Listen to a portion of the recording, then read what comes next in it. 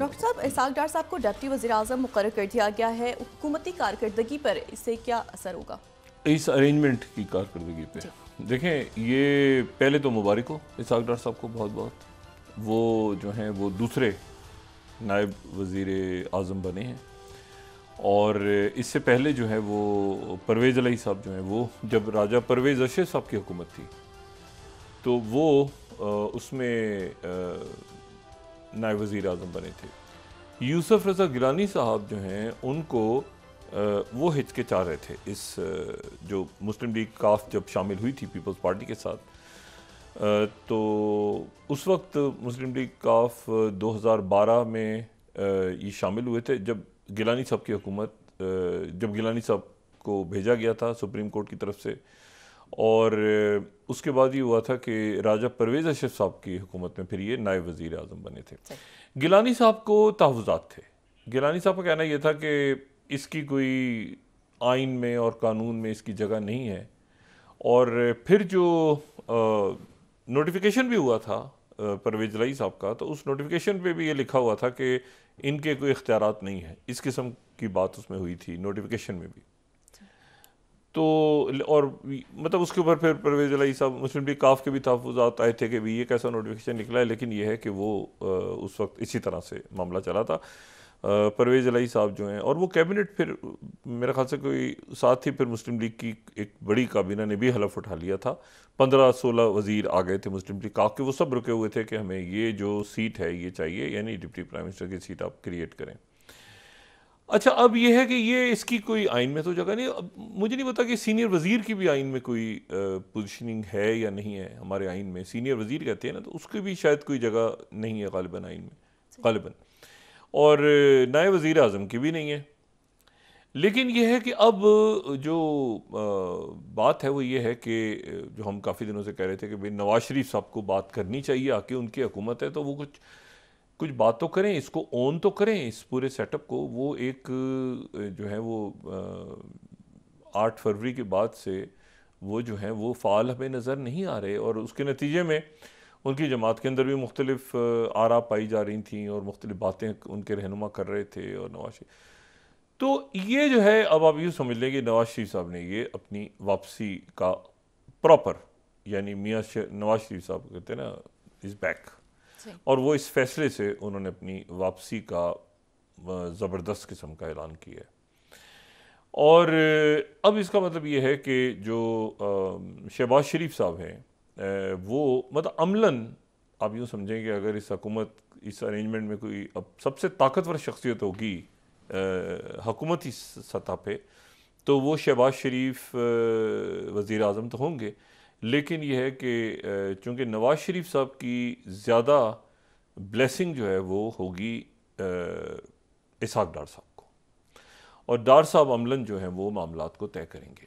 डार साहब पहले ही जो मुख्तलिफ़ कमेटीज़ हैं मीशत की और बाकी सारे मामला उसमें वो काफ़ी फ़ाल हैं।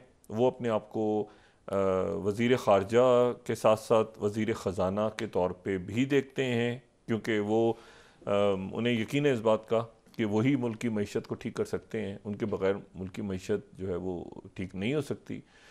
तो वो काफ़ी कमेटीज़ वगैरह में भी हैं। तो नवाज़ शरीफ साहब ने, नवाज़ शरीफ साहब अभी चाइना में ही है। ये ऐलान जो है, ये चाइना, सऊदी अरेबिया के दरमियान में कहीं पाकिस्तान में हुआ है। लेकिन ये है कि ये मतलब मियाँ साहब शायद आ जाएँ या कल वापस आएँ तो लेकिन उन्होंने ऐलान जो है, ये बाहरी हुआ।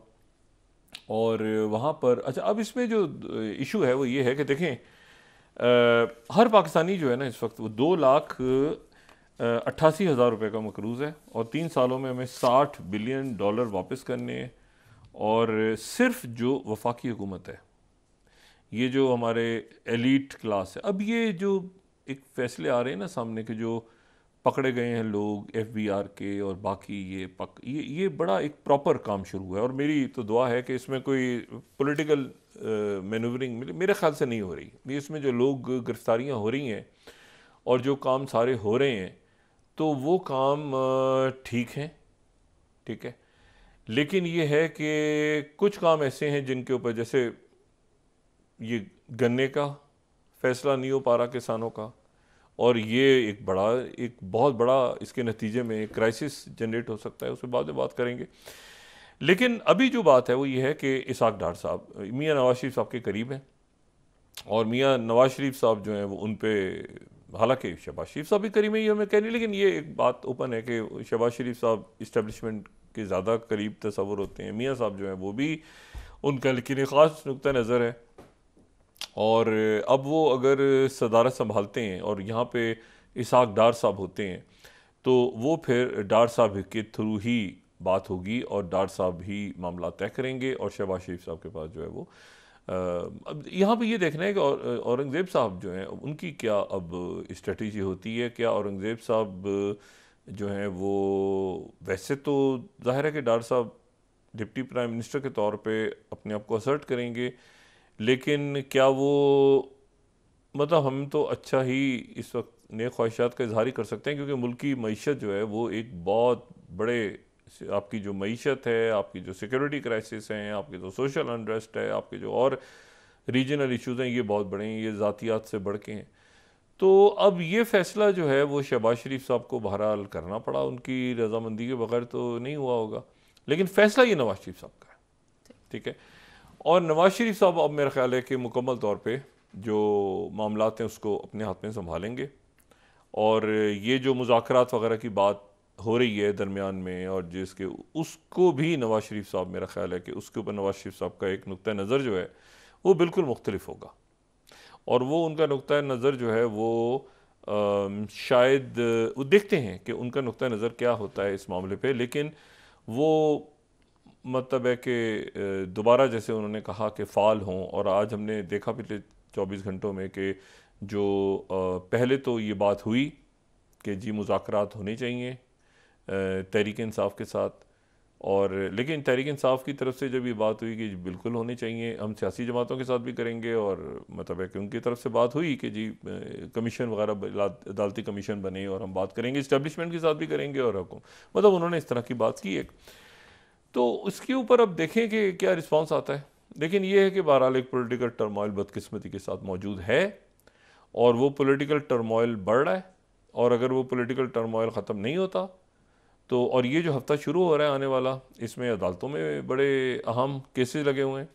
आज जो है वो बाबर सत्तार साहब की तरफ़ से एक बात वाजे हुई है। उनकी तरफ़ से कहा गया है कि भाई ये जो मामला हैं मतलब जो चल रहा था उनके ऊपर इल्ज़ाम वगैरह लग रहे थे मुख्तलिफ़ वो बातें तो उन्होंने वजाहत की उसकी और वो जो है वो एक प्रोपेगेंडा था क्या था। लेकिन ये है कि वो अब देखना उसमें ये है कि उस, उसको सुप्रीम कोर्ट किस तरह से देखती है और अदालतें उसको किस तरह से देखती हैं उस मामला को। और कल जो है वो बाबर सत्तार साहब उस बेंच में बैठे हैं जो कि ऑडियो लीक वाला बेंच है। तो वो भी अब कल से, यानी ये मेरा ख्याल है कि आने वाले दिनों में ये बड़े हंगामा खेज़ दिन हैं। और हंगामा खेज़ अच्छा नहीं है इनका हंगामा खेज़ होना। स्टेबल होना ज़रूरी है। स्टेबिलिटी बहुत ज़रूरी है। और ये अगर मामला मज़ीद हिजान की तरफ़ जाते हैं मुल्क की सतह पे तो ये अच्छा नहीं होगा सिक्योरिटी के लिए भी, इकॉनमी के लिए भी और बाकी मामला के लिए भी। लेकिन ये बात ज़रूर है कि नवाज़ शरीफ साहब ने अपने आप को असर्ट किया है। दोबारा कि भाई आ, बात करनी है तो मैं मतलब फ़ैसला मेरे पास ही है। फ़ैसला साजी मुकम्मल जो है वो मेरे पास ही है और शहबाज शरीफ साहब ठीक है वज़ी अजम हैं लेकिन और या फिर ये कि हुकूमती सतह पर जमात की सतह पर नवाज़ शरीफ साहब के पास से हकूमती सतह पर इसहाक डार साहब जो है वो मामला को संभालेंगे। आ, ये मुस्लिम लीग नून के लोगों का कहना है। ख़ुद वो भी इस बात पे जो शहबाज शरीफ साहब के करीब हैं वो थोड़ा सा इसको किसी और अंदाज में देख रहे हैं और नवाज़ शरीफ साहब जो है वो। क्योंकि शहबाज शरीफ साहब के बारे में तासुर ये कि इस्टेब्लिशमेंट के करीब हैं और नवाज़ शरीफ साहब जो है वो, उनका अपना एक मौक़ है। ये करीब है दूसरे हट के उनका जो है वो मुख्तलिफ़ मौक़ है। तो वो अब देखते हैं कि नवाज़ शरीफ साहब, लेकिन मुस्लिम लीग नवाज़ है, पार्टी जो है वो, वोट भी उनका है और पार्टी भी उनकी है। तो देखते हैं कि वो फैसले आगे किस तरह से करते हैं और ये क्या सारे मामला को पोलिटिकली वो कैसे देखते हैं। अच्छा और तो एक तो बात ये हुई। दूसरी बात ये है कि जो फैसले हैं ना, वो फैसले, ये टर्मोइल ये मैन मेड क्राइसिस मुल्क में जितनी जल्दी ख़त्म हो, उतना बेहतर है। और उसमें जो कल जस्टिस मंसूर अली शाह साहब की स्पीच थी, उसको अगर सामने रखें तो बहुत सारे मामला तो उसमें क्लियर होते हैं। ठीक है, वो ये कहते हैं कि भाई माफियाज मौजूद हैं। और जो काम नहीं करता उसको निकाल दिया जाए।